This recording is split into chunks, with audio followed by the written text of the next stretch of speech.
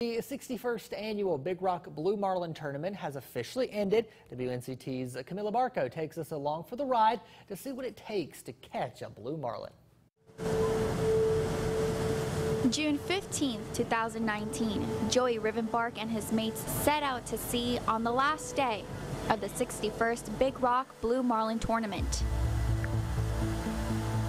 On board Starflight, Rivenbark, angler Brian Cornegie, Hey.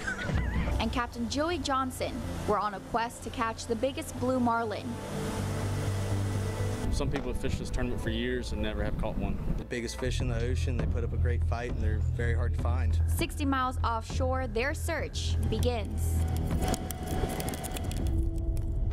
We have uh, two dredge reels. We've got the rods, we've got the lures, And and then we'll have natural dead bait on our teasers. They do not have any hooks in them. Once set up, Rivenbark and his mates cover as much fishing ground as possible.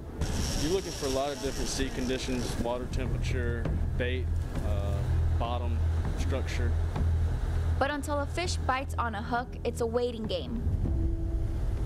Each fishing day, the team has six hours to catch a blue marlin, a white marlin, a dolphin, tuna, or a wahoo. a lot of it is communicating with the captain and the mate and keep keeping the line tight.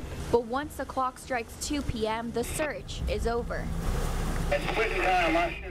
Starflight was not lucky on Saturday, Well, it, it gets a little discouraging, but that's that's part of fishing, you know. but they did win the daily release on Wednesday with a blue marlin. We've got a great crowd we fish with, good crew, and we were lucky enough to find one this year and win some money out of it. An experience that is more than just deep sea fishing. So overall, we had a great week. You keep on going, and you know you'll get you'll get them eventually.